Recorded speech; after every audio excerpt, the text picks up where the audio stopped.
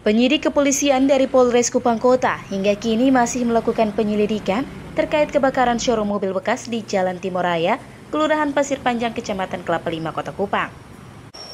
Kapolres Kupang Kota AKB Satria Perdana mengakui, dalam penyelidikan awal terdapat 11 unit kendaraan roda 4, 15 unit kendaraan roda 2, serta satu unit ruko dan sejumlah surat berharga yang hangus terbakar.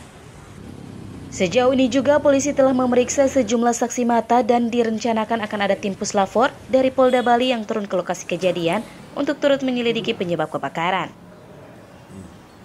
Terkait kebakaran satu unit showroom mobil dan sepeda motor yang terjadi di Jalan Timur Raya, itu sampai dengan saat ini kami melakukan penyelidikan lebih lanjut karena kita masih harus menentukan sumber awal api dan sebagainya. Mungkin mungkin nanti juga bisa lebih lanjut bisa melibatkan dari puslapor selanjutnya untuk yang terbakar di situ setelah kami identifikasi lebih lanjut tadi pagi itu jumlah mobil ada 11 jumlah motornya ada 15 kemudian satu unit ruko satu unit ruko di areal 530 meter persegi serta ada beberapa surat berharga setelah hasil uh, konfirmasi dengan pemilik.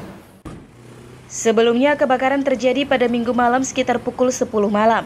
Kebakaran terjadi dari gudang penyimpanan kendaraan roda 2. Meski tidak ada korban jiwa namun kerugian ditaksir mencapai miliaran rupiah. Kalix Taus, Kompas TV, Kupang, Nusa Tenggara Timur.